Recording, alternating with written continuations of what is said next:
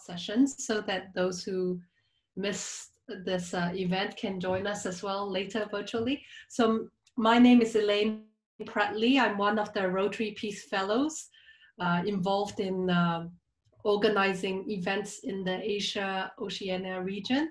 And I'm also involved with the Global Peace Conference, the first one, as well as the coming one next year. So today's event is uh, hosted by the Rotary Peace Fellow Alumni Association. And we have Jackie and Verena hosting this session, plus their gang of five or six people facilitating. And I'll let, uh, let Jackie and Verena introduce them. Uh, we want to welcome you from, from wherever you are joining us. If you haven't done so, please note where you are based so that we can also know where everyone is. Also, please feel free to put um, introduce yourself in the chat box. And if you have any questions, I'm sure the host will be happy for you to put questions in the in the chat box. There will be a interactive session today, so feel free to start warming up. I'm sure they'll be very glad if you start shaking and warming yourself up. So um, feel free to send me a message, or if anyone wants to ask a question but prefers me to ask in your place, feel free to do that as well. So I'll hand the session over to Jackie. Thank you. Thank you, Elaine. Um, so welcome everybody. Thank you very much for um, joining us today. Um, oh, there you go. Thanks, Tifa. Um, so I'll let Verena introduce our team and then we'll um, go through um, the session. So as Elaine said, we're going to have a very interactive session. And the core part of, I think, this workshop is using drama and certain things around drama and how we could use that to um, understand GBV, but I think certain components within it are important because they can be used or they're transferable within context um, or uh, to, to mediate peace and, and understanding. So I hope that some of the things that we do demonstrate or that you do experience are useful. And yes, I do encourage you to ask any questions and any thoughts you might have. Please feel free to share them with us. uh, Verena, would you like to introduce our team? Thanks. Sure. So perhaps we'll introduce us. Oh, yeah. Yeah. um, so I'm Verena. Uh, I work with Jackie at Queensland University of Technology. And um, well, I've been convert converted to drama. I guess I'm more into, I guess, come from a background of documentary filmmaking, but I have found the drama process is incredibly useful in terms of understanding context and story. So um, that's where I'm coming from. We both work across Australia and Papua New Guinea and the wider Pacific. Um, so we will be using examples from Papua New Guinea today. Do you want to add anything more to your? to my, um, yes. so um, as Rena said, my, my field is in drama, applied drama or theater, community theater. And um, the ways in which we use the sort of creativity and the art forms to understand people, but also to bring about different ways of thinking about things. So that's uh, my background, my field. Um, yeah, and I hope that Tim, we can get a lot more out of this uh, as we move along. Thank you. Um, maybe we uh, introduce the rest, Rina? Yes, so um, in our work, I guess with many of you as well, we, we get to be fortunate to work with a lot of great and creative people. So we asked a few to join us today to help facilitate the session. Um, because for us is also, you know, we're also as we're adapting to these online tools, and as you can imagine, drama processes are usually very physical, and you know, it's about embodiment and doing things together. So bear with us as we're trying to do things online today. Um, so um, we've asked Tifa uh, to be the host of the session today. Uh, as you um, as I call your name, please wave. Uh, so Tifa is helping us to facilitate the technology today. Um, she's a lecturer in sound design at Queensland University Technology. So we are, will be experimenting with a few collaborative online tools today. So um, Tifa is running the session. We have Kayla um, with us. Kayla works with us on projects and finished her degree at QUT in drama, a former student of Jackie's. Hi, Kayla, if you can wave. Thank you for joining us. Uh, we have Bomai. He's a PhD student um, and originally from Papua New Guinea, but currently based in Brisbane. And he does his work around sorcery accusation related violence in a community in Highlands and around tribal approaches to peace building. Thanks, Bomai, for joining us. And we have Elias and Umba, both joining us from Goroka in Papua New Guinea. And both of them are working very closely um, in our team with community groups to facilitate um, processes around trauma and um, in particular currently working with university students around um, uh, discussing the law and uh, conflict resolution mechanisms in PNG.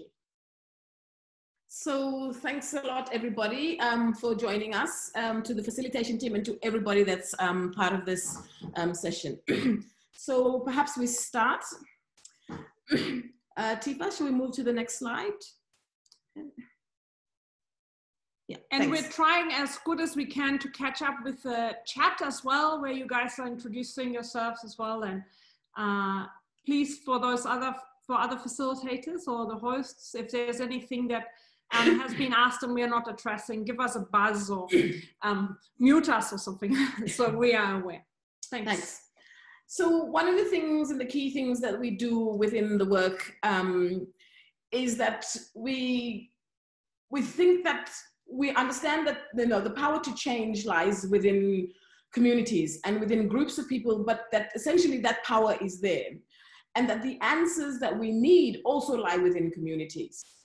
And that communities can work out for themselves what needs to change and what needs to be done. And so, with that um, sort of thinking, we work into communities. And we understand that there are a lot of different things that happen, um, but that are there. But we do want to, or every time we go into a place, we try to understand the context and the ways in which working, but understand there is always difficulties in the way that we work through these things.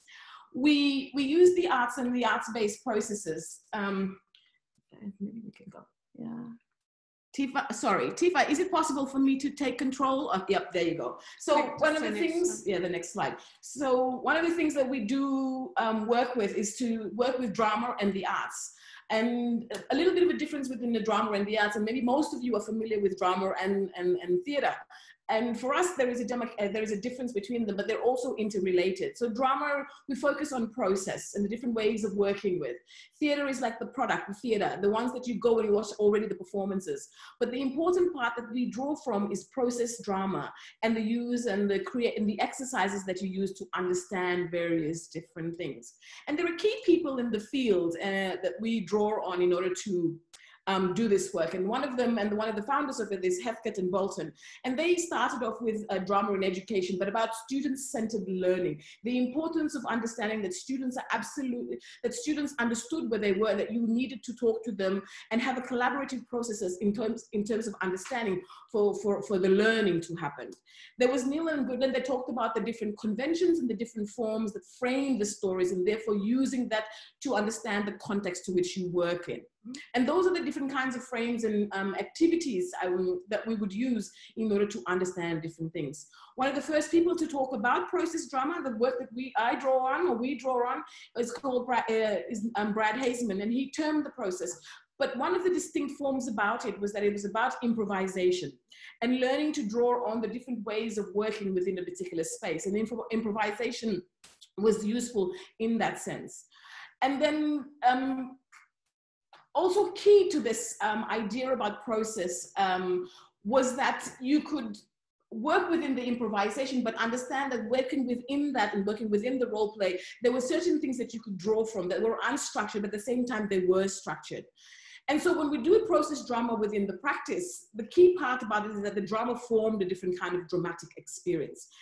That understanding how to use these forms you would um, structure a workshop to address the various different issues. And the issue that, you know, it, it, depended on whatever the issue was. And for us and for the workshop that we're doing now is around understanding the various structural inequalities that exacerbate sort of gender-based violence and sorcery-related violence within communities. And that's how we use the drama process and we will experience some of them. One of the key things, again, is called the leaderly led drama. And this one I think is important in some of the things that we do. That while something is structured, often certain things come about. And it's important to notice that. And so people and, and within that there's ideas and knowledge that come about but as a leaderly process while you might have a workshop that is structured in a particular way to be also open to the possibilities and the nuances that emerge from that. And how then do you weave that back into it again? Because it deepens our understanding. And in that particular moment you understand the various different things that are happening from it. And so those were like the key things around process drama so going back to gender and gender-based violence, which is the theme and the hook for this particular um, um, experiential learning that we're going to go through. Um, gender-based violence in Papua New Guinea is very high, it's highly, it's prevalent. And so, and the statistics are right, two out of every three women face gender-based violence in Papua New Guinea. But on top of that as well, too, sorcery and sorcery accusations um, affects um, the community. And in the work that we do, we also use the various different drama forms and, and, and other media um, components to actually think about the different ways of, of understanding how um, accusations come about in communities. And so these so in order to understand these ones and to address the issues and, and also i mean donors and government partners are also very much part of this. For sorcery and sorcery related violence in particular one of the most pressing issues that came about a scenario that came was in 2013 there was the death of a, a woman. And maybe some of you would have heard about it was that they burnt a woman alive that was accused of sorcery. And this her name was Leniata Kepari and this brought the whole nation to a standstill. And this came about, it wasn't just a one-off incident. There was a collection of incidents that happened. And this one just tipped the, uh, it was a tipping point for the country. And so what happened was that then the whole country came to a standstill and then laws were put into place. And then there was a huge civil rights movement that actually created the change for that. So I think on the backdrop of that and the work that we're doing, then we introduce like um, the work that we're doing around gender and gender-based violence as well. Um, and how then can we go about this using the various different forms, but also the um, media.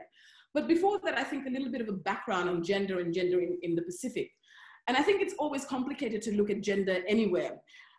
And because PNG is a very tight knit, interconnected social relational place, to, to speak to the individual to create change is really difficult because gender is socially constructed and it is linked to um, the different um, social and relationships that happen within community and customs and traditions get implicated in, in that.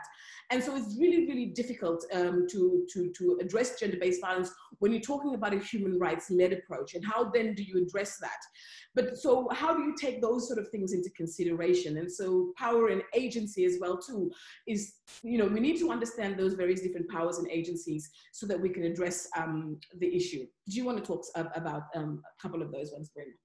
well, I think that you know we're talking about the role of drama and peace building and conflict resolution, and we're going to focus on on gender and gender relations. However, we know that in, in different circumstances, gender-based violence um, is exacerbated by conflict. And so when we look at the issue of gender-based violence, in particular sorcery accusations, we often look at the community conflicts and the community relations and also the community support networks that uh, we need to or we can tap into and community um, and the drama processes allow us to identify some of those networks and relations so that's why we wanted to preface this relational nature of of the issue and how drama processes can um, allow us to understand these relationships a little bit better. What we've also found in our work is uh, because we've been working with human rights defenders, that uh, we've worked with a lot of women who've been crucial to conflict resolution and peace mediation processes. So we will talk and share, um, I think, one of their stories today. Um, and we can move to the next slide. So that is just that um, in our work, um, working with these drama processes has allowed us to identify the nuances of these community-led innovations and conflict resolution processes. Um, and that is in the context of um, human rights, but also gender-based violence and sorcery accusation-related violence. Uh, yeah. And so one of the human rights defenders that will be sharing her work, but we will also be using her as a, a, stimulus, as one of the exercises that we will use to unpack the various different ways in which we could experience and understand um, gender and gender-based violence, but also the components that we're talking about now, which is um, the structural inequalities and the various different things um, that happened. And her name is um, Mary Kini. And I think we'll show, share, share a little bit about her story and then we will um, talk some more about um, um, the experiences that she's had and what are the different kinds of ways in which we could understand it better. Tifa, should we um, play her, her story? Thanks. So this is a digital story. It's about five minutes long and we'll use her story as a, a way to unpack some of the ideas and have some participatory exercises. Yeah, for this, I think we might um, allow everybody to watch it independently via the link I'm going to put in the chat um, because it seems to work better if everybody opens it directly um, and views it from there rather than trying to stream via Zoom in case we get delay and that sort of thing. So I've just popped the little Vimeo link in your chat. Um, and if you'd like to open that, you can see the link. Um, and I think I've just got to check how long that movie is. It's approximately, Rena, do you know? Five, uh, six minutes. Six minutes. So can everybody give me a thumbs up when you've got that link open? Um, and then we'll probably uh, just give the links in the chat, the Vimeo. Um, when you've got it open, give me a little thumbs up and I'll start a, about a six minute timer while everybody gets starts that video together. It's kind of like a watch along. Is that okay with everyone? How's everyone else doing? I've got a couple of thumbs up there. Yep, great. Let's see if there's any other thumbs up in the participants list. Because there's two different ways of doing thumbs up. oh. Yeah. Are we all doing okay? Yeah. Or if you'd like to turn your camera off when you've got it, that'd be great. Doing okay? Great. I've only got two people so far, so I'm feeling a little nervous about that. There's a couple more. Kayla, I can't tell you if you're frozen or not. yeah, I got your thumbs, it's okay. Okay, yeah. All right. I'm going to start the six minute timer. Are we all doing okay? Yeah, great. Okay, let's do that. So I'll see you all back in six minutes. Is that okay?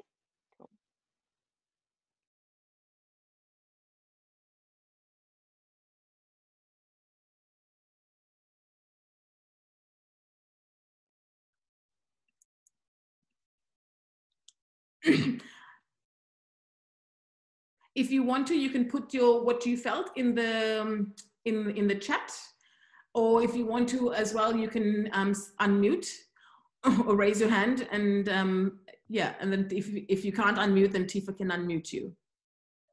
Uh, hi, this is Kamaini from India. Uh, I could actually really relate to the video because this is very much still prevalent in India the whole issue of witchcraft i mean we do have uh, a, burning of women but that is in the context of other dowry and all but due to witchcraft in fact we are fighting to have a law so there are certain areas in the country in Orissa and Jharkhand, certain states where this sorcery you called or the witchcraft, uh, you know, there is a lot of gender-based violence. So I could actually correlate with it very much. Yeah, thank you. Thanks for that. Yeah. Any other thoughts, uh, perhaps, on the on the video, um, and what you thought about it?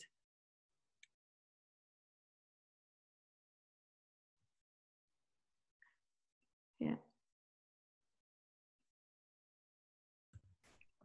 It's very well made. you know, in such a short time, in six minutes, to tell this story, the whole story, and also tell, I mean, it's like her life from, uh, you know, a victim to a survivor to, to a human rights defender. And I, I think it's, it's really very well made. Yeah.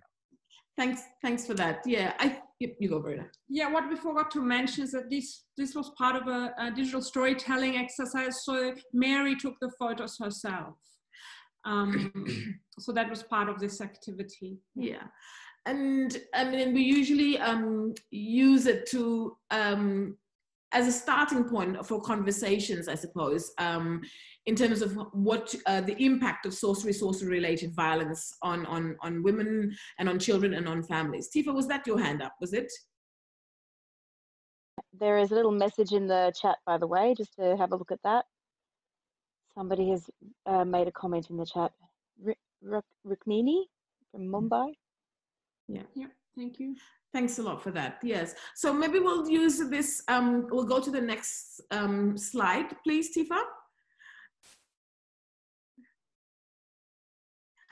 And um, I think um, the next exercise requires for us to interact with the platform and to um, use, an, is it annotate, annotate um, uh, Tifa? Annotation. Annotation. Could you so just take in your, Yep, you go. Sure. So in most of your Zoom applications, you can probably see a little more button which has three little dots on it. And if you click on it, it might allow you to see the word annotation. And so um, you should be able to annotate on your screen, except interestingly, I can't see that. Um, uh-oh. Um, I wonder if that hasn't been turned on in this um, version of uh, the program. that may be a problem. Okay. Somebody, uh, yeah, that may be missing. Okay, right. I'm gonna quickly go yep. and see how to turn it on if that's the case. Yeah, I think so. It's in one of the advanced settings. Yeah. But while we're thinking about that um, and trying to practice that, uh, Tifa, can you just take us through to the next slide, please? Slide um, yes. 11. Yeah. And also just let us know when you've you found the, the button. Um, we wanted to do a little bit of an interactive session, but to think about Mary's story, but not about Mary's, just Mary. We want you to think about Mary's mother in this and what her mother might be feeling on the inside. Then I want you to think about the community and what the community is feeling towards Mary's mother. And as we've all seen um, the film, the short film, um, of course it is about Mary and the impact that it had on her, but um, perhaps we don't even consider Mary's mother's situation and how she might be feeling there. And I think that those are important things to also understand. If we're going to understand the situation, those are the kinds of components as well too that we try to get people to understand. So I want us to think about what Mary's mother is feeling and maybe jot down on the side or in the chat. And after that, uh, we can, if we find the interactive um, button, then we can also just write in the interactive session here about what Mary's mother is feeling. So I want you to take a minute just to reflect on it. Thinking about Mary's mother, what happened to her, and how she might be feeling given the situation that has happened to her. A minute to think about. Mary's mother and her feelings. Great. And please share it in the chat. Okay, good. And, yep, uh, it's working now. Great. Mm-hmm, okay. Tifa, no, can I we? Think that was, I think that was me. Sorry. Okay, maybe Tifa, if you could transfer it in, but we go to the next slide, which is an empty shell. And then Mary's mother's feelings go inside the body. So anything that someone's perhaps posting, this is us exploring the online, the participatory interactive online tools. We are still learning about those and the features of Zoom. Um, so luckily we have Tifa. um, so please continue to think about um, what she's feeling.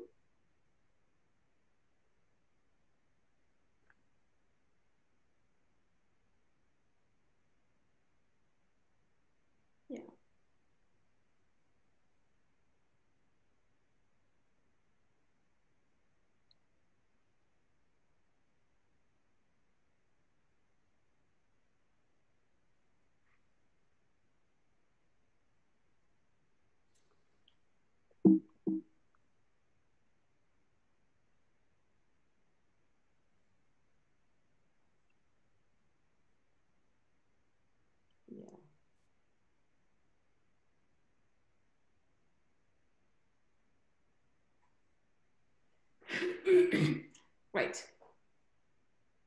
Yeah. Now I want us to move out of the space and think about how the community is feeling towards Mary's mother. And this is Mary's uh, community. So these are clans, these are tribes, and it doesn't matter whether it's in a PNG context, but you know, from where you are from as well too, think about that and how might a society view a person like Mary, uh, Mary's mother that has gone and left their child in this traumatic event that happened to Mary.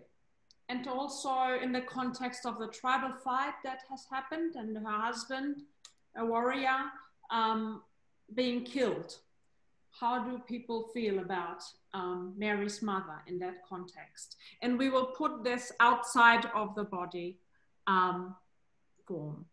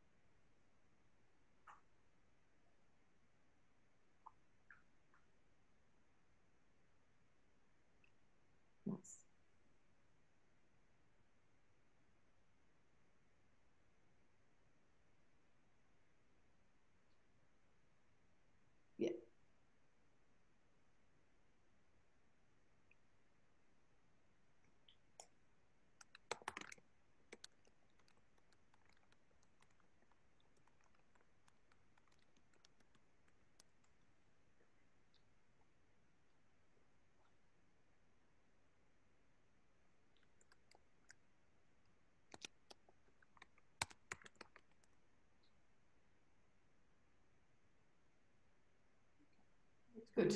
Usually sticky notes. Yes, okay. yes, you go. Thanks. Usually we facilitate this process uh, in a room with sticky notes where people can write on the sticky notes and then go step forward and post them uh, on a figure that we draw on a wall. Yeah. But uh, thank you, Tifa, and thank you everyone for your contributions. Yeah. And so we can now see um, the different feelings experienced here.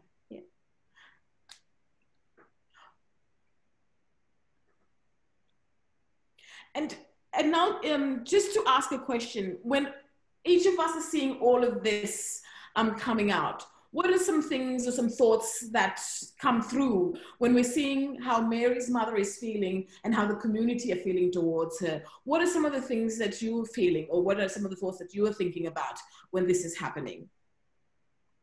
Can we raise Um, our hands or do we just answer? Yeah, please, uh, you can answer. Sorry, I there's no raise hand function, so I'll just go ahead. Um, hey everyone, my name is Noor, um, and I was born in Iraq post the um, Iran-Iraq War and the Kuwait-Iraq War, and um, I was a refugee for about 16 years of my life. And I think when I see this, it reminds me of my own circumstances, to where my own mother had to um, do immoral things to raise her kids and to um, to just scavenge for for food or for shelter. And it reminds me of how every country we went to refugees were always blamed for high prices and for other issues within the country. So we basically had to keep and stay on the run because we couldn't stay in whatever country we're in. Every six months we had to get our new paperwork and that wasn't an option. Kids couldn't go to school. Um, you go down the neighborhood and you're the new kid on the block, you get picked on. So um, you definitely feel very dangerous. You feel in danger, and even when you go to sleep, you feel like you're threatened. You don't know who's gonna come get you while you're sleeping. So it's pretty scary. Thanks for listening. Thanks, Noor. Thank you very much for Thanks that. for sharing. Yeah, thanks for sharing. Are there any other thoughts uh, that come through when we're looking at this activity and seeing how Mary's mother is feeling on the other side and how um, uh, the community is feeling towards her and how she herself is feeling? Are there any other thoughts? I don't think we have the, um, the hand waving function on this one, so feel free to unmute and, and just speak.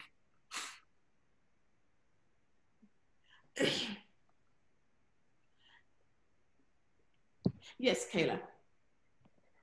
Um, I think look just looking at uh, what's happening internally and what's happening externally, there's a there's a miscommunication that's happening between the community and what's happening with um, Mary's mother. Because Mary's mother, as us, we look at her and, and we we're showing signs of empathy towards her. We're saying we think she would be afraid and worried and scared, but the community that is, was around her was being distrustful and not thinking about it that way. So seeing that there's a disconnect there, a miscommunication, and there are those narratives they might have about her, um, we can look at the situation and go, it's not quite as simple as they see it. We're, we're showing empathy towards her, but they are, they're not showing that in the same way. So we see that there's a miscommunication going on because of those narratives they perceive about her rather than what actually might be happening with her. Yeah, thanks, Gail. Um, yeah, and um, feel free anybody to jump in. And one of the reasons why we do this activity is, first of all, we never get to understand what is within and how a person is feeling. And sometimes when we run this activity, it varies from different groups of people because of the different experiences that they have. And and oftentimes people think that you know it is the mother's fault. She went away, she left it, but she probably didn't have a choice. And we try to unpack that. But in terms of um, peace building and creating communities and deepening understanding towards it, one of the processes is first of all to understand that tacit knowledge, those kind of prejudices that people have. And this is one of the ways in which we can tap into people's experiences and then try and unpack them. And so when people talk about, well, it's really her fault, you know, she should just go away. We don't really like her very much. It's like, well, there are various different reasons why that is happening. And so we try to create a conversation that enables people to understand the reasons why and not to take it from where it is now. And so, and this is just one of the activities that we use in terms of understanding that. And sometimes we take that and students go away with it or participants go away with it or local communities go away with it thinking, ah, okay, stop, let's think about this some more. Did you want to add something, Verena? No, just in terms of, I mean, this is uh, an, an activity we have done quite a bit around gender-based violence and how um, a survivor might be feeling or what that, that how they might be trapped and but also how the different community members might be looking at the person. So mm, just i think there was another comment. Um, yes. Uh, I, I sorry uh, hi can i say something? Uh, yes yeah, absolutely. please. hi hi my name is emily um, and I just wanted to really echo, is it Kayla? I really wanted to echo your words. I thought that was really good what you said, because I think this exercise does exactly what uh, you used the word, I think, just to stop. And it really helps everybody step into someone else's shoes and develop empathy for that moment mm-hmm. and hold that person's story with respect, but without judgment. And stopping and drawing boundaries around each person's kind of lens, if you will, I think can be incredibly enriching for this particular story or anyone's story that you're trying to unpack. So this, I really enjoyed this exercise. Thank you. Thank you for sharing. Thanks. Thank you. And you Hi, summarized key components really well in terms of the empathy. And that's what we're trying to do within the group when we run this activity. At the same time, provide a safe space because we're talking about those different emotions about this character based on this scenario. Yeah. And we've got Alan. Yeah. Thank you. Um, I think that what's happening too is that it's building a connection between the community mm. and the, and feelings for both Mary and her mother. So by seeing these these connecting feelings, I think that there's more chance that that there'll be some kind of resolution or maybe some kind of they'll be left feeling maybe some kind of path to resolving these issues. Yeah. Yeah, thanks, Ellen. And, and it's really difficult for some people when the, the, the behavior is so embedded to really dislike the mother, for example. And, mm. and, and it never, it's just the start of trying to have the conversation about it. And then you continue to go back again and do it. And sometimes you have such opposition about it because, you know, oh, you know, it's not, oh, yeah, because it's like, this is my culture here. I don't want her here. She's not allowed to be here. And yet the person is human and the empathy and the connection is always one of the things that we try to do within these exercises and these processes to get people to actually absolutely place one in, in, in somebody else's shoes. And so those are important things. yeah. Any other thoughts um, uh, that what people want to um, share?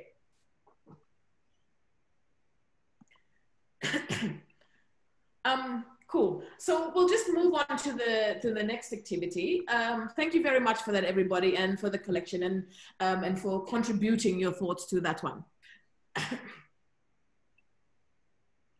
Thanks all. So in our limited time, we'll run through two or three activities today. So the next activity will lead us to a breakout room um, that our facilitators will be part of. Um, so thank you, Tifa, for putting all these uh, words there. That, that's been really, really great. Yeah. Um, we hope in the future that we'll learn more about the annotation function so it can actually directly write onto the um, sheet as a participant. Um, so uh, thanks, Tifa. We'll go to the Bilums.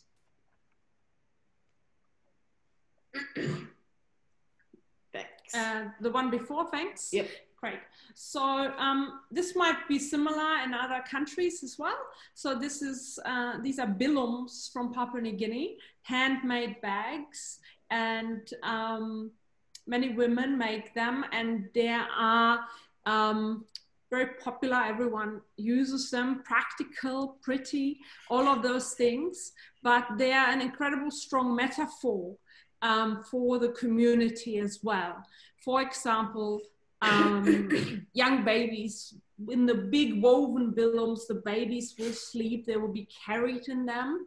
Um, and but at the same time, women carry incredible burden. Um, those working um, very hard on a daily basis, carrying firewood, um, garden food, all those aspects also in bilums.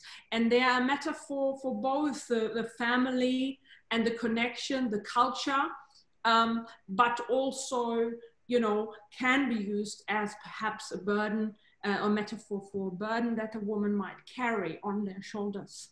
So um, we wanted to introduce, um, so the first activity was around the relationships of an individual and the feelings, the internal feelings, and then how the community feels.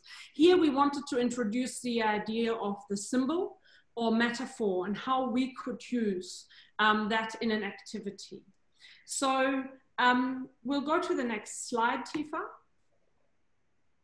There are multiple ways we can use the metaphor. So one is that, let's say this is Mary's bilum.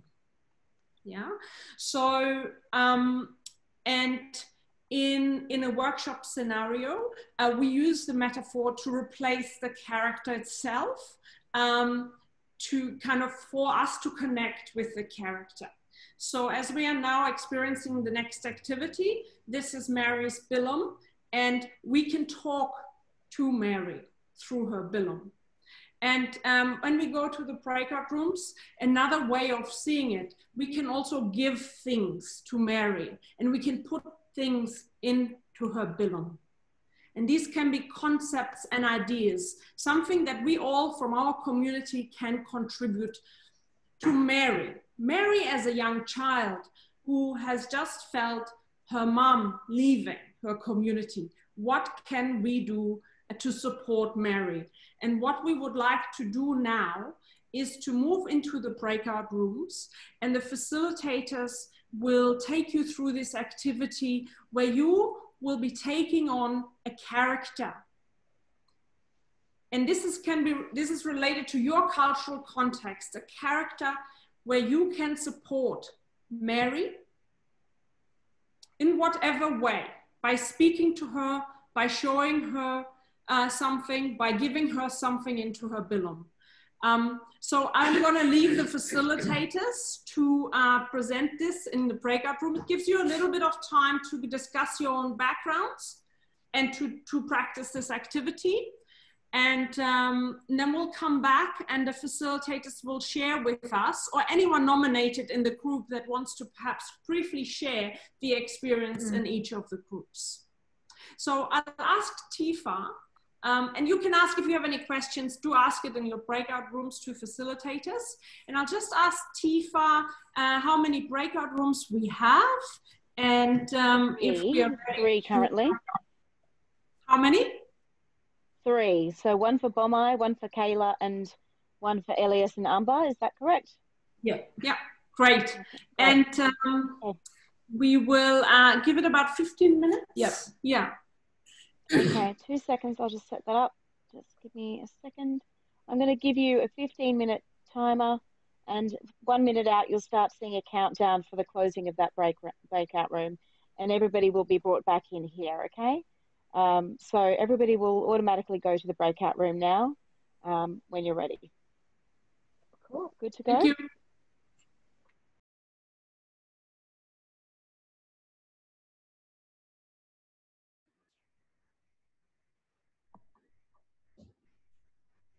Hi.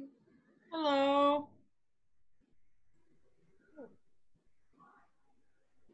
Hello. Hello. Hello.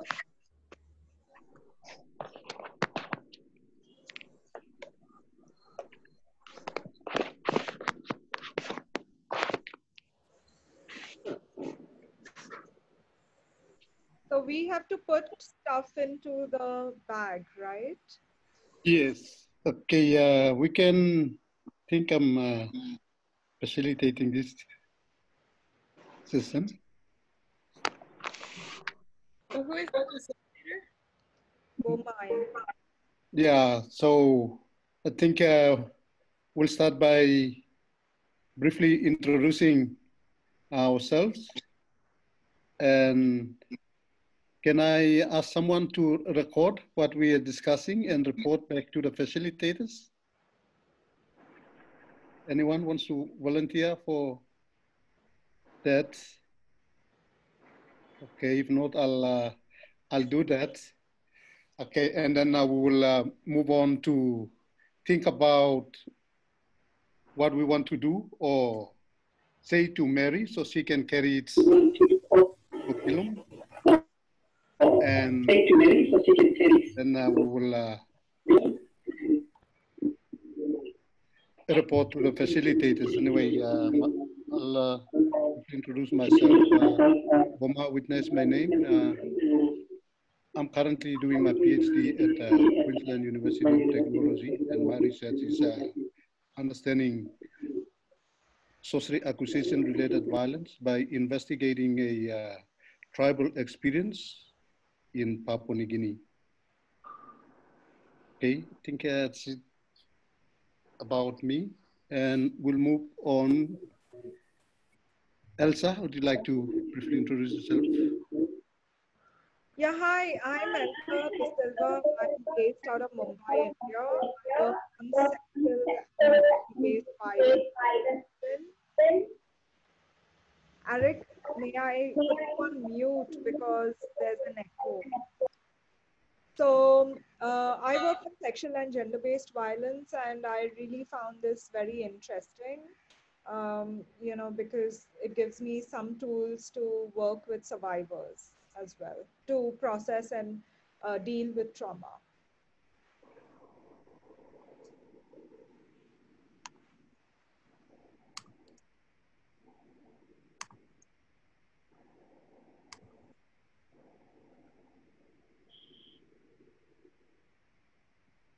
Florence? Hi, I'm Florence. I just finished um, my Rotary Peace Fellowship in Tokyo, Japan. Um, I was looking at business and human rights, so I, I don't necessarily have a background in gender-based violence or in Papua New Guinea or in drama and peace building or in trauma. Um, but you know, here because I wanted to learn more about um, the many aspects of peace building and creative forms. Um, so I, it's been um, very interesting to kind of hear a lot of new information, especially about Papua New Guinea, about which I have have no um, background. So that's been very interesting. Okay, yeah, can you quickly move on to uh, Prakash? Hello, I'm Colonel Prakash Tiwari. I served in the army for 27 years and served in conflict areas. Last um, 15, since the last 15 years, I'm there in the corporate world. I basically do infrastructural development project in conflict areas and try to bring about peace and development in these areas through these projects. Thank you. Okay, uh, quickly move on to Madhuri. Uh, hi, I'm a lecturer in psychology. Uh, so uh, I joined here today just so that I could learn something new and I could uh, carry these lessons to the classroom. All right, uh, Arik. Hi, you still here with, with echo? No, I can hear you clearly. Ah, good, good. I just thought about moving to another computer. Uh, okay, so my name is Arik. I'm from uh, Israel. I, uh, I'm a peace fellow from UQ. Uh, so I have deep feeling for Australia. Uh, I'm, I'm, uh, I'm using, oh, this is me? I'm doing the noise? Sorry. For those, sorry, for those who are not uh, talking, can put on mute. Oh, me? I'm doing the, oh, okay. Can you hear me? Yes. Okay. Um, I'm using uh, Augusto Boal technique for many years. I'm mainly working with the Jews and Arab youth and also uh, students in the um, uh, Western Galilee uh, College in Akko. This is the north part of Israel. I couldn't see the movie because I'm using an old computer. I'm not at my house, so I have to um, hear from you what's going on and to join in. Okay, thank you. Is anyone still there who said something? Aditya.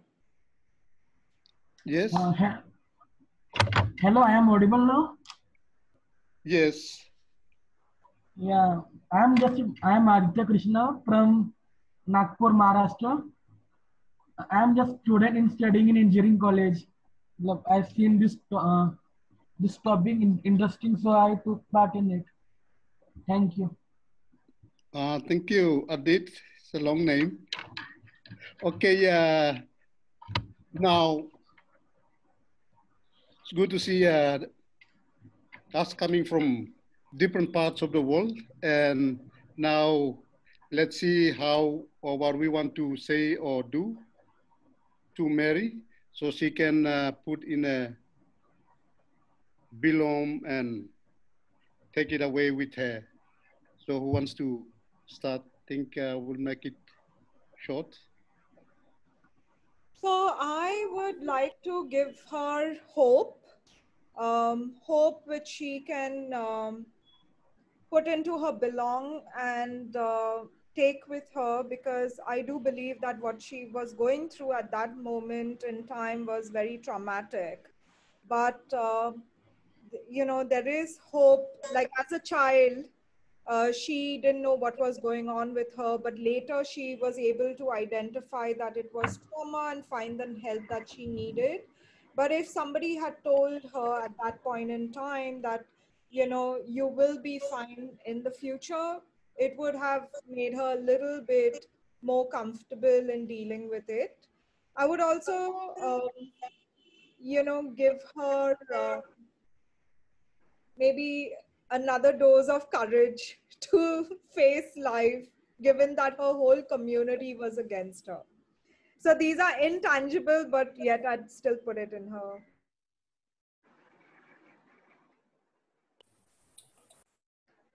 The second. Uh, sorry? Uh, Hope and what else? Can, can anybody give me a short summary of the story because I couldn't see it. I had a problem with my computer. Hope and courage.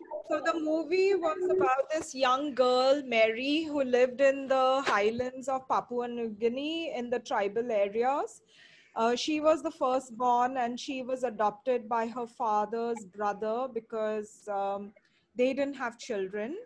And one day there was a tribal fight that broke out. At the time, her uh, father came to, uh, means her stepfather came to stay, um, came to have lunch, but because it was raining heavily, he couldn't return to the men's house. I assume in PNG, the women stay in one house and the men stay in a separate house. And uh, so he stayed the night in the women's house. And the next day, the tribal fight he went to fight with the rest of the man, uh, men. Um, so the mother had prepared sweet potato, which this girl took with her to school. The father ate the sweet potato and then joined the other men in the tribal fight. And when this girl returned from home, from school home, she could only see smoke. And smoke meant that somebody had died.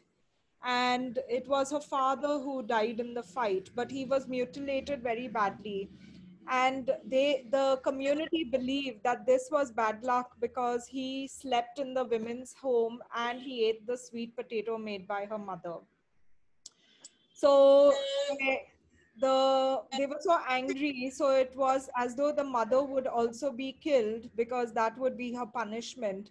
So she just ran away and did not even say bye to the daughter mary. And um, mary uh, said since then she was sick. I mean, they lost everything. Um, her community took away all the plantation and the coffee um, plantation as well. And um, later in life, she realized that the sickness she experienced post this incident was trauma. Uh, and then she went on to become a human rights defender and to work on rights of women because um, all of this is linked to sorcery as well. So if I've missed anything, maybe the others can fill in the gaps.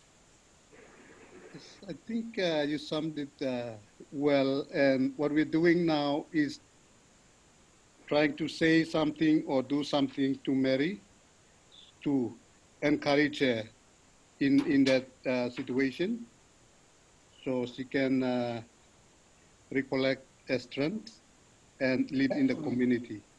So my only thing, uh, but my only thing which I would like to give from my side is yes, the is confidence. Is what is the way that we can build a confidence, build a self-esteem, and uh, by doing certain acts, and that is what uh, uh, build her own capacity and capability, so that she's able to come up and deal with the situation. Uh, thank you for that, uh, Eric.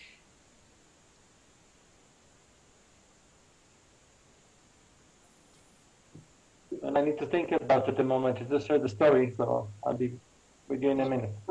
Okay, let's go to uh, Florence. I would want to give her a book. I, I don't know what one, but some kind of, you know, fiction novel with a strong female character who has adventures. Something where she could kind of see herself in a character and could draw her hope and courage and everything from that from that book. Because I know when I was a child I didn't have anything traumatic happen like with Mary but I really you know I think most children often feel like kind of disconnected from other things around them and I always like kind of would imagine myself as some like heroine in one of the books I read about. So I think you know having that um, means of escape and to envision yourself in a new way would would give her some of these other items that we're that are intangible.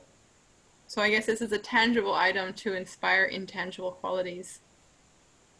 Wow, beautiful uh, madhuri?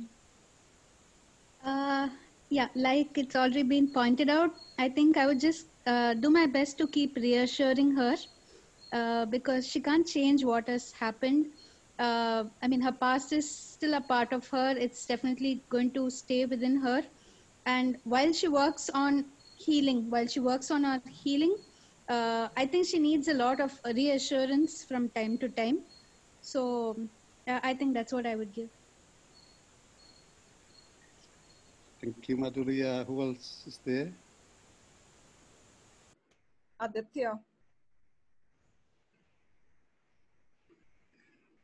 Yes. Can we come back to you, Arik? And who? Uh, one more thing I'd like to say, Bomai, having yeah. served in, uh, in the tribal areas, one of the things that I've seen, a tribal society is a very close-knit society and to penetrate its society and do is very, very difficult. So for me, the way that I look at it and what I want to give to Mary is should should be there in the same situation where she's there or to take her out of that particular situation or from that particular environment that she's in.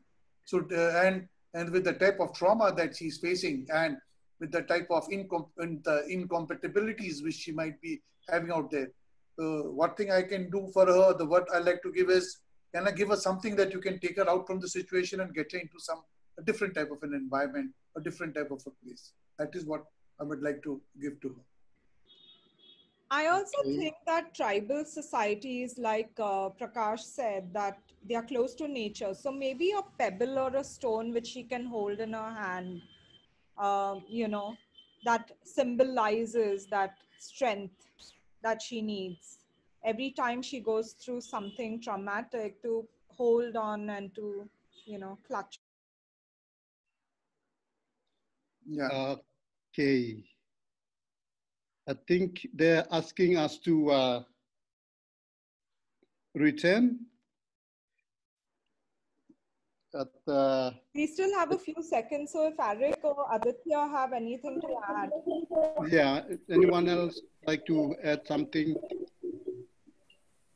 I don't know. I'm I'm thinking about how to create a, a safe space or or an address that that people in a trauma situation can uh, can address and know that that they are there for them. I'm not sure what kind of uh, address is it, but it needs to be something like that. Could yeah. it be like a tree? You know, you go and talk to a tree because when I am upset, there's a favorite park that I go and I walk in.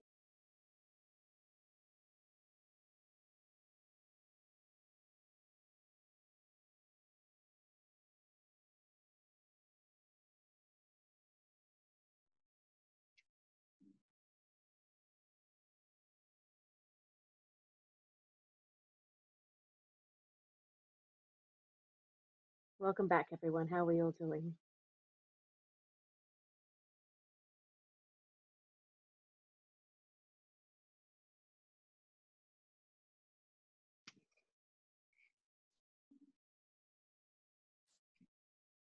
We got Jackie and Verena somewhere. Ah, okay, we can unmute on. um, I think every session we had, if we had three breakout rooms, we have. Speakers from each of the session that might briefly share uh, what they have discussed and how they found um, the discussion. Uh-huh. We have Kamayani. We have uh, breakout room numbers, or it's like anybody goes one, two, three. yeah. Well, anybody that unmutes first is the first one to go. okay okay guys so we uh, we had a very interesting exercise and everybody contributed so we had people taking the roles of the neighbor so we had Kyla saying she is going to be Mary's neighbor and she's going to provide her with solace, right? That if she does not have any room in her house or she's not allowed to stay there, she would give her own house you know. So the shelter issue is for mary is solved there right? Then we had uh, elaine who, who was also the grandmother and uh, she felt that the mary should definitely be felt that she belongs to this community you know. She is here and she should not feel that she i mean she should not be afraid of anything to happen to her. Uh, then we had a very interesting friend who is going to uh, make her uh, join the football committee and we are going to, I mean, she's going to pay, play football with them and also sort of form a camaraderie and, you know, not to feel alone as such. And she's going to have uh, a lot of friends as well.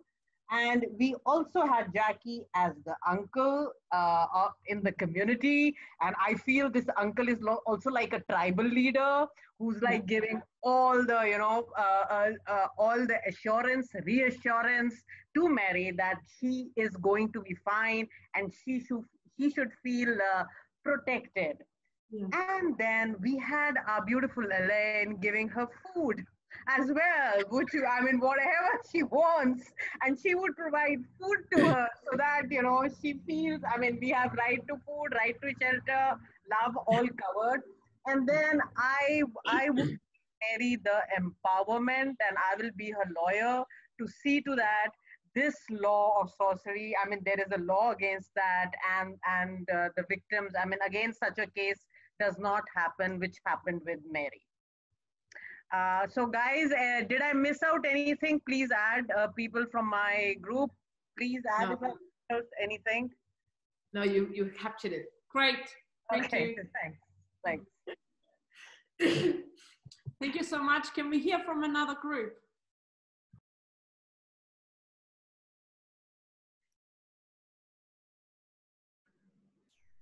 Okay, from from our group, okay, uh, the members uh, strongly feel that uh, Mary Mary needs healing, and in order for her to go through the process of healing, healing, she needs a safe place and a safe environment where a safe environment and space will be surrounded by people who will encourage and give her the confidence uh, she needed to move on and have uh, hope for herself, a future, and what she wants to do. And then uh, something to remind her of the community's assurance by giving her a book that talks about strong uh, female characteristics so she can read or a stone, a pebble to hold on and remind her of her strength to move on. Yeah. Yeah, such richness. Yeah. Did we have, a one more team? Yeah. I think.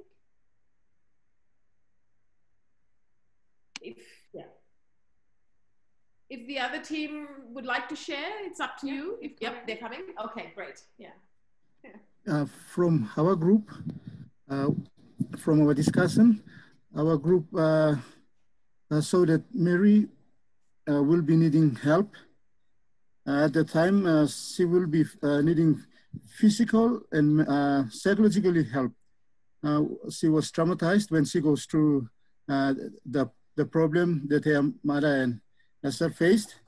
Um, Mary is uh, needing uh, help, like uh, the the family, the group discussed that we should be cl- close to her, talking to her, not to take the problem as for herself, and and then accompany her, bring her to some activity like sports activity, so that uh, he can uh, she can forget about the problems uh, she's going through, and also uh, bringing her to uh, like other uh, service uh, that is provided like uh, uh, support mechanisms. Like in Australia, they have uh, uh, Big Sisters and Small Sisters program where she can uh, benefit from uh, that program, uh, so that uh, she can uh, she can feel that she's not alone, but she's uh, there's somebody uh, care for her and concerned about her and all this. Uh, we've come up with this. Uh, if I forgot some, Alice can help me, or my group members can, uh, yeah, say something about our discussions. Uh, to add on from what uh, my colleague Umba had said, uh, they also came up and uh, uh, uh, gave uh, some feedback that uh, they wanted to give a moral support and and also to go for medical checkup and yeah uh, yeah and others we left out so I think that's it from us from our group. Great. If anyone from our group want to say if something we yeah, not uh, putting uh, listed up there. Yeah. or anyone else from any other group that feel that we have missed anything?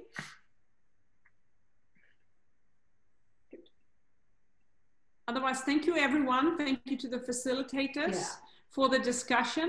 And I had mentioned in our group that we work usually in a specific context and a specific cultural context, and it's been very interesting to to do this uh, with people from around the globe. So really appreciate everyone sharing. Um, Jackie? Yeah, I just one of the I'm always so moved by this because it always thinks about like other people offer also the different places but it is also such a reflection of the context where people come from. And you draw from that and there is because of the way that the narrative strikes a chord with people that empathy there are always these various different things that we can learn from. And so it is always a collection of the different experiences but the different collective spaces as well too. And there is hope. And in that metaphor of the bilum, it provides a space where people can also give hope to Mary for the ways that they can go to, but that she is not alone. And that always resonates with people because sometimes we never know the backstory of the person, but at least that in itself and the various different um, conversations and thoughts offers that for them and that's always a good thing about this this particular exercise and in terms of moving it forward as well too it's um it, it, does not invade a person's space, but you have the option of doing that if you want to or not. And so I think that this and the collective knowledge that has come through with it is great. So thank you again, everybody, for doing that. great. So we move to the next slide. Thank you, Tifa. Uh, you will have one more typing activity coming up soon. Thank you. Um, so we wanted to use these exercises and we hope that um, you know, what we want to bring across is that these are processes developed from trauma because they're looking at characters, they're looking at scenarios, and perhaps these are transferable activities that you could use as well or perhaps you have already used some of these yeah. activities. And and so just to before we go to the last collective activity just to re-emphasize when we did the role on the wall figure it was really about understanding the context and exploring the relationship and starting to build a sense of empathy and connection but also to highlight the contrast that is very much looking at the individual's feelings. And then from there we can map context because we are drawing on, collect, on collective knowledge um, while at the same time talking about the scenario. And then we had the Bilum exercise, which Jackie was very much about hope and the support mechanisms we can create. Right? Yeah, yeah. And usually you lose that because I mean, with Mary's story, that's very real in Papua New Guinea, and, and perhaps with other, within other contexts as well too, is that you're so living in these um, situations where you never think that there is any way to move out of the space. And so these different scenarios, one, it offers you an alternative way to do things or to see things, but also an alternative future that you might have after that. But to think that you are never and not alone. And so those are the kinds of things that we weave into these activities, is that creation of hope, that through the, the pathway of empathy and understanding that there is a future, that there is something that we can do. It might not happen now, it might not happen tomorrow, but at least as a collective community, we can find a way because we value humanity, we value human beings. Yeah. And throughout it all as well, too, one thing that did come up as well, too, and during the exercise was identifying the solutions and the existing um, networks. And this might be like a given, oh, we all know this one. But sometimes people don't know where those networks are. But in terms of working within communities and understanding context, a sort of mapping the context is also important. And people have the dearth of knowledge, I mean, an, an, an, immense amount of knowledge that we can tap into. And these are the certain ways that you can unlock that to find the various support mechanisms from within the community, but also outside. And then within that as well, too, is about collective consciousness the idea that we are linked, the idea that we can do something, the idea that we have this common thread, this common thing that we want to do. And it inspires that in people. And so through the conversations and the activities, you bring out these various different perspectives and you bring them out and then you have a conversation with people around that one. And suddenly it might hit them, some, some might not like it, some do, but at least you started them thinking about that. Mm-hmm. Yeah. Could I add something to that, Jackie? Yes. I think briefly yeah. I think i think um we using story in the process drama like using mary's story is a safe way for people and we've seen it today for people to find uh, find things in those stories that speak to their own experiences and bring people to think about their own experiences their own stories to find empathy that way through it as well. And that's why I, what i love about it so much using story is because people find find use this story their mary story as a way to find solutions for their own stories in their own places. And I think that's really powerful. And so thank you for everyone who shared their own stories because that shows how these process drama using story actually can help to invoke that change and apply help people apply that to their own contexts. Yeah, thanks. Yeah, great. Thank you, Kayla.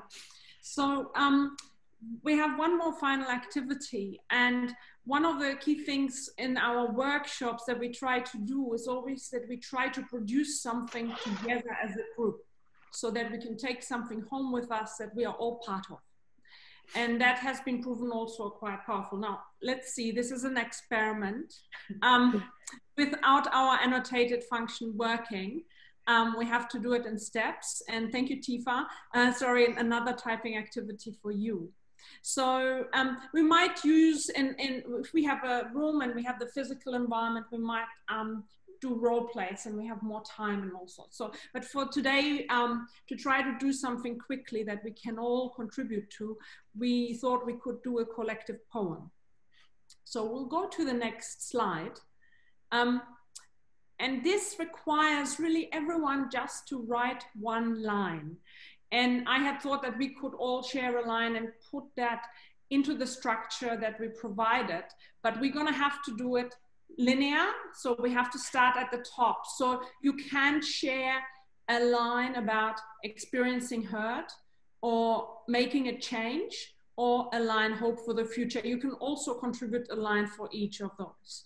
But the idea is now that you are not now, now moving into the character of Mary and you are now talking about um, the experience, you're talking about making a change and your hopes for the future. Now, this can just be a word, it can be two words, three words, a sentence, anything. And we will just put it together. So we're going to use the chat function again. And we, I will just start by saying, we will start with the sentences or words around experiencing hurt. And then uh, we will wait a little bit and I will let you know when we move to the next section. Mm. So that way we know where the words and the sentences go. Once we are finished, I will ask Jackie to read the poem out for us. And then that will be the end of our session. With some reflections, I think. Yeah. So um, let's see how we go. So we will start with experiencing hurt. Um, and remember, you are Mary now. Please use the chat function. Yes. So when you're ready, after some thoughts, into the chat function. Yep, good. and and um, Tifa, we will ask you to copy that over. And if it's too fast, then we can read it from the chat later. Yeah. yeah. Yeah. Mm.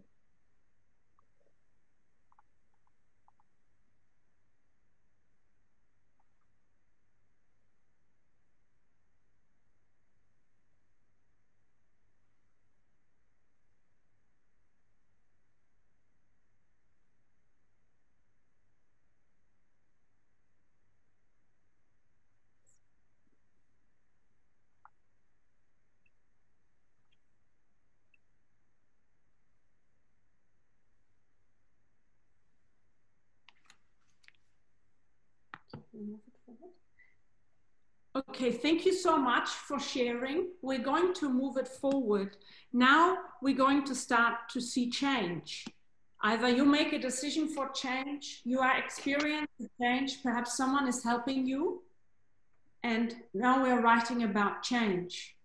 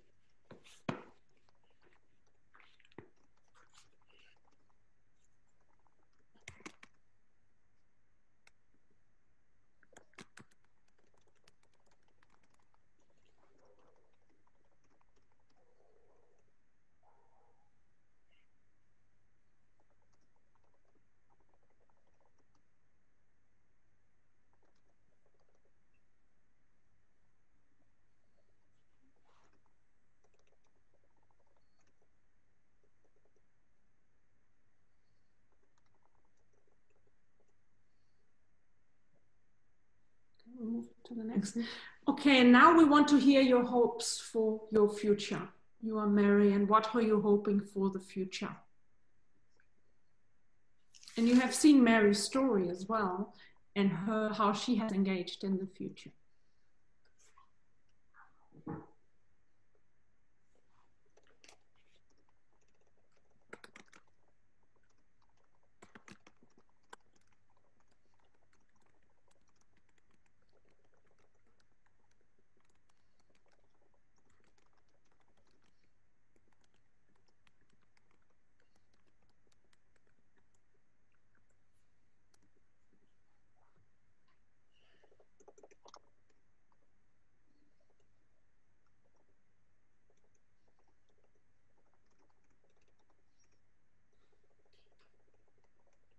Thank you so much. Please continue typing. In the interest of time, we will start reading the poem now.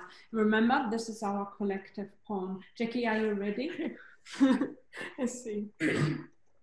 or would you like to appoint someone?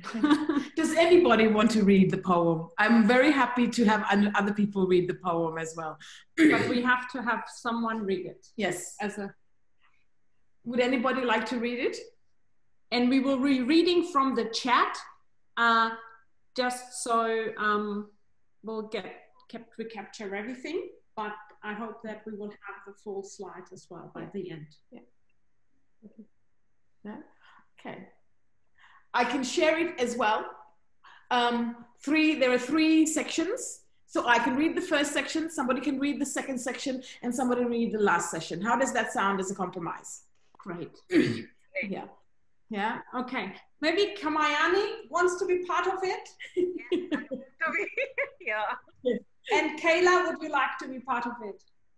Cool. Great. Kamayani, which one do you want to read? Do you want to read the first, the second, or the third? The third. The third. right. Kayla, which one do you like? The second. I'll read second. No problem. the chat? Yeah. I'll, yeah, I'll be the first one then. And to all, please keep writing and thank you so much for contributing. I didn't get to say goodbye. I feel scared and betrayed. I endured blow after blow. Hurt has made me more resilient. I'm wandering around in the dark with no hope in sight. I am alone. Being always blamed for the things out of my hand. I don't know what I did wrong to deserve this. Hurt has made me mentally strong. Why am I entangled in this cobweb? I follow the path of strong women before me. Emptiness in her life, loneliness. It's not fair. My mother is innocent. She only wants the best for me. I am walking towards the future, not knowing what's in store. To change is hard, but a necessity. I will hold your hand. I am brave. I am strong. I don't understand everything right now. I want life to be meaningful.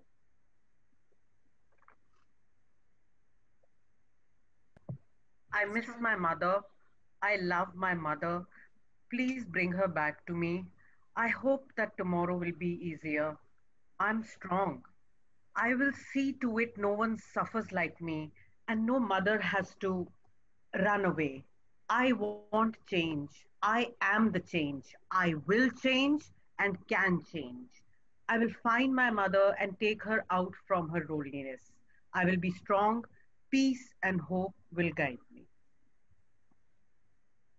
Bravo. Thank you so much, everybody. that was beautiful. So perhaps take a moment to just let that seep through and also the activity, and then we'll bring us out of the space. Thank you. Did you want to add, Rina? We did have a final slide, but there's not really a lot of things we can say after this. No. Uh, other than I hope that the processes that we've shared um, gave some ideas about how we can look at how we can map relationships, how we can use character based understanding to uh, identify solutions, and how we build, can build collective to create hope through creative ways. Yeah, and I think also that I think one of the important things is to facilitate the conversations, but to get people to be part uh, of it. And I, this is very new to us, this interactive space, because we're always very much in person doing this. And so first, you know, to thank you all for your contribution and also your participation and patience throughout this process. But that also what has happened to uh, within this collective space that we've had, we've come up with something and something that dis, uh, talks about hope. And always when we try to do these workshops, we always try to make sure that we bring people out of the space, out of all of that, into something that can bring light and that can bring hope, and that there is a future towards that one. And so, and that's a very much, a very much a, um, an important kind of pedagogy when we're doing these workshops. Is that each of the uh, each of the conventions, each of the exercises, always takes us through a process: the process of experiencing, the process of exploring, the process of understanding context, but also bringing us to the process of actually seeing the future and what the possibilities are for that future future. So thank you very much, everybody, um, for your participation and for being part of this workshop. Yeah. Elaine, I think I give it back to you now. Well, Verena, did you have something to say? No, no, no. that's it from us. Yeah. yeah. And, and I want to thank also the facilitators uh, that were part of this team. Thank you so much for facilitating the group sessions and also um, saying yes to being part of this team. So thank you. Yeah. Thank you very much, everyone. Yeah. We go back to Elaine or Elsa? Uh, yeah. Elsa or Elaine, we go back to you both. We'll hand back to you. Thank you, Jackie and Verena and the facilitators for taking us through that. It was very beautiful and it was very, it was very interesting to see how you um, managed to use this kind of role play to deal with something so deep and so personal. So I enjoyed that. Thank you. Uh, for those who are still on, I asked that if you could fill out the, there's a two, three minute, two minute survey. It's actually very brief for the sake of the facilitators and our moderators, if you could give some helpful feedback as well as for us for the future of topics you'd like to be in, uh, us to note uh, in the form. Also feel free to follow us on our Facebook page because we have uh, many webinars coming up. Our webinar next month is on September 20th, starting roughly the same time. Uh, it's uh, one of our many uh, things that we are putting on in, uh, for the International Day of uh, Peace. It's not necessarily all on the day itself. We are expecting to put on a peace meal as well as a, a, very special session with the, some survivors of the nuclear, uh, the bomb in Nagasaki. So that is around six people in their late 80s and 90s who feel the need to share before they go their experiences of, uh, ex uh, of the atomic bomb and uh, life after that. This is a very, very special session. Some of them have been spending a lot of time and energy to learn English as well because they want to be able to convey these stories to a broader audience. But uh, because of their age, it's not accessible to everyone around the world. But uh, so we're very lucky because uh, we're in the right time zone. But do join us for that time uh, that session. It's a very very unique and special opportunity. We'll be posting that on our Facebook page with more details.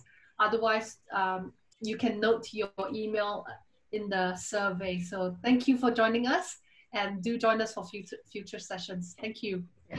Yeah, sorry, thank you. Can I just say something? I, I would like to thank Jackie, Verna, Elaine, everybody, felicitators. I mean, it was a really rocking workshop. I feel in such a small time to do so much. But I had a suggestion. You know, it was not enough time. Would it be possible for you to share the emails of the people who have attended so we can sort of, you know, maintain a rapport and a connection? And maybe, you know, uh, you know, we don't know who will connect with whom, but uh, and this this poem we would please like to have this full poem with us so either i mean if you can share with all the participants the yeah. email address yeah. of everybody so we can connect with them that would be really helpful i'm just um, sharing the yeah, so quick version of that poem now. Is that okay? Yes. So I we will share a very uh, quick version of the poem now. poem. There. So we'll share this on our facebook page as well as the webinar. So you can uh, re-watch this again. Uh, in terms of um, the email details, we are not uh, permitted to release things until unless people expressly notes Okay. note to that effect. So if you wish for that to happen, please uh, note in the survey, and we will collate all the emails and send it out to the group who would like to stay connected. Okay, okay, thanks. Thanks, Elaine, for that. Yeah. So thank you, and uh, come join us for the future sessions. Thank you very much, everybody. Thank you, everyone. Thank you so much, and we hope to stay connected with everyone. Thank you, Thank you for sharing. Thank, Thank you. Bye. Bye. Bye, everyone. Stay Bye. well. Stay safe. Bye. Thank you. Stay safe and healthy. Bye. Thank you. Bye. The facilitators and uh, Jackie and Marina, if you'd like to stay on for like a, a few minutes, once everyone's left, we'll just have a quick debrief. This was such a great uh, session.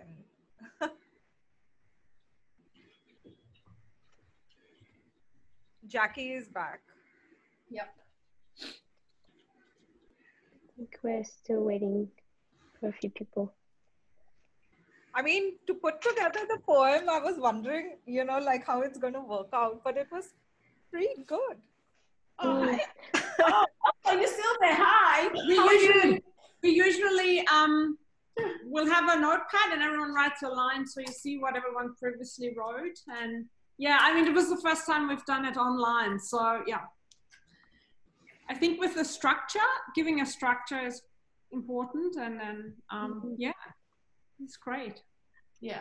Yeah, So so next I time a whole page per section, please. Yeah.